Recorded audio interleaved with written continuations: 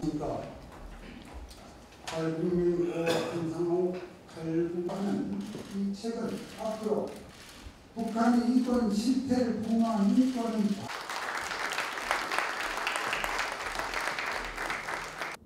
인사드리겠습니다. 북한 인권법이 시행된 지 3년이 됐지만은 우리의 현실은 어, 참 안타깝고 서글픈 그런 마음까지 예, 듭니다.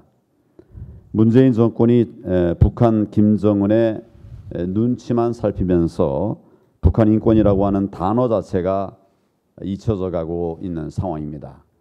저는 기회가 날 때마다 북한 인권에 관한 이야기를 반복적으로 하고 있는데 어, 이 정부에 의해서 이렇게 하나하나 만들어진 법까지 지켜지지 않으면서 잊혀져가는 이런 상황을 어, 참 안타깝게 생각하면서 저희는 이 부분을 어, 견고하게 자유한국당의 입장으로 세워서 반드시 북한 인권이 한반도에서 어, 그렇게 다 지켜줄 수 있도록 하기 위한 노력을 하겠다는 점을 말씀을 드립니다.